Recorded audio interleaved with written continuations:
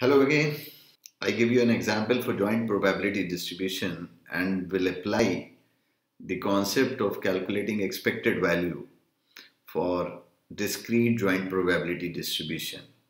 But before that, as we know, the formula for joint probability distribution, it is a dependency of two random variables. In general, we consider for this course module so two random variables are considered in this joint probability distribution. So I will apply the concept of expected mean and expected variance for the given distribution. So look at the example. In the joint probability distribution, if both the random variables are discrete, both are discrete, then there you have to calculate either the expected value of x variable or the expected value of y variable y variable. So if you are calculating for the x variable, the first of all we have to find out the marginal probability density function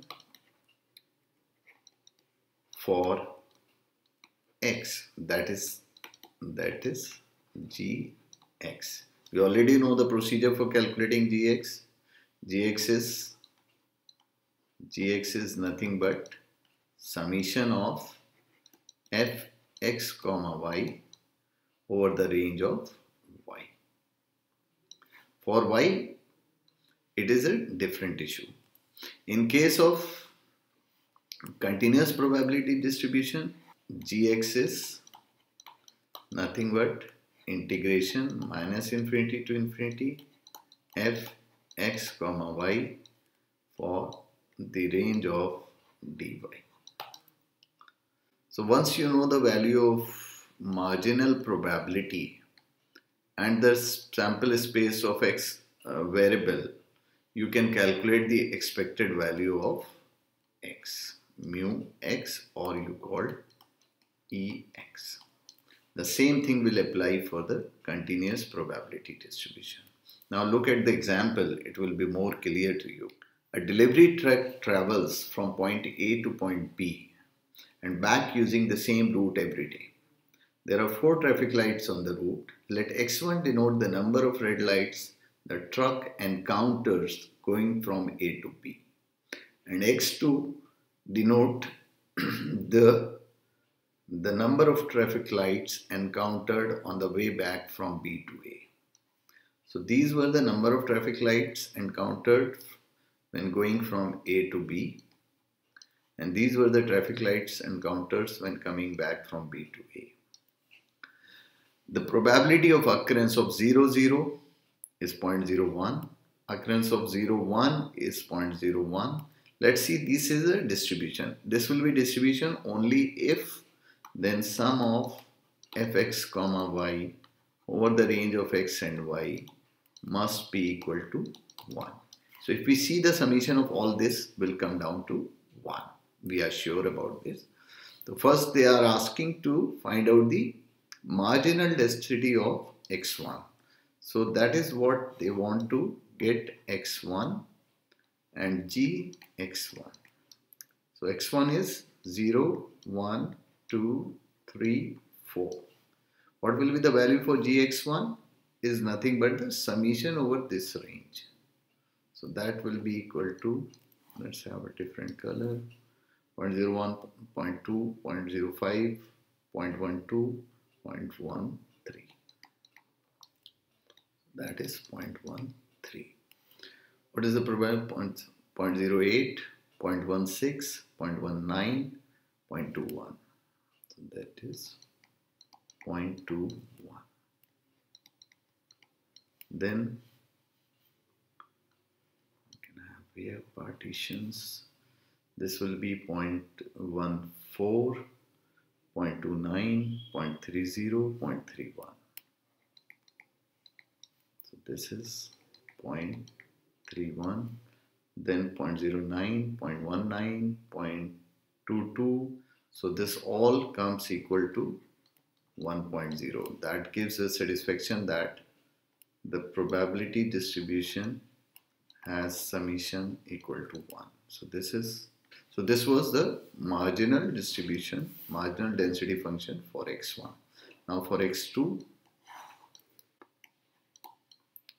h x2, let's have h here, this one, summation of this 0 0.04, 0 0.07 and 0.10. Here 6, 17, 24, 30. 6 count down here 0 0.4 0.79 0.79 and 6.85 and this comes equal to 1 now just write it over here 0 1 1 5 and 0.06 now what next in the problem is expected value for so this is done. Expected value for x1 so this will be nothing but summation over x1 x1 g x1 that will give us a value 0 multiplied by 0.13 plus 1 multiplied by 0.21 that will give us a value equal to so expected value of ex1 is 2.0 so now if you have to calculate the expected value for this is done ex2 that will be nothing but equal to summation over the range of x2 x2 h x2 that will be equal to 0 multiplied by 0.10 plus 1 so this comes about 1.77 so now this part is done. Now see here what they want in the next part is the given the conditional density distribution for x1 given x2 so they are talking about conditional probability. Conditional probability what is conditional probability? We know that it is nothing but probability of a given b is nothing but the probability of a and b divided by probability of b. Now in our case what they want is probability for x1 when x2 is given 3 so they want distribution for x1 given x2 equal to 3 so that will be nothing but f x1 comma 3 upon h3 so looking at this the possibilities for this distribution for a specific value of x1 x1 possibilities are 0 1 2 3 and 4 and this will be f x1 for a specific value of x2 equal to 3. I have already explained what the conditional probability is. So for 0, what will be the condition? For 0, value of x1, 0 value of x1 is this. For x2 equal to 3, the AND probability is 0.07 and the probability of x2 equal to 3 hx3 is 0.15 so the probability of occurrence of x1 with respect to x2 equal to 3 will be 0.07 divided by 0.15 so it will be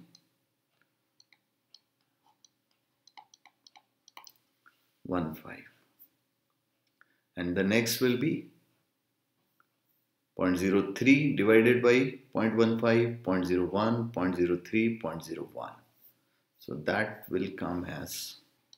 Now this was the fourth part of the problem, which fifth part of the problem rather, give the conditional probability distribution for this. Now if we have to find out the expected value of this, it will be based on the same distribution. Let's see here what will be the expected value of x1 given that x2 equal to 3. So that is nothing but 0 multiplied by 7 by 15 plus 1 multiplied by 3 by 15. So this will be give us a value as 15. So 3 plus 2 plus 9 plus 12. 26 by 15.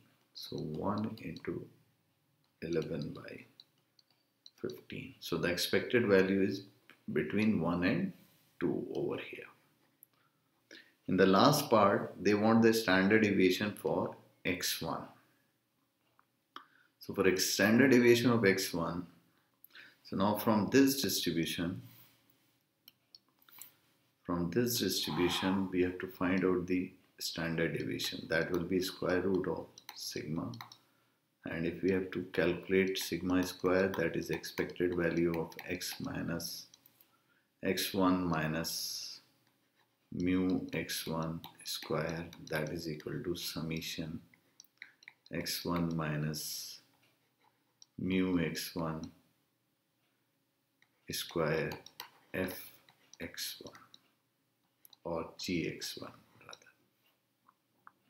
over the domain of x1 so that value summation square will be equal to 0 minus what is the expected value of x1 was 2 so it was 2 already calculated 2 so 0 minus 2 square multiplied by 0.13 plus 1 minus 2 is multiplied by 0.12. That will give us a value 4. 4 multiplied by 0.13 plus that will be 1.232. So this is done. So this was a sample procedure for calculating the expected value even in the case of joint probability distribution. We started from the simple probability distribution and then we move to discrete, continuous and joint probability distribution. So these are the examples which will help you to find out the expected value in case of joint probability distribution. If we get time, we will take more examples to share with you. Thank you very much. Bye for now. Good luck.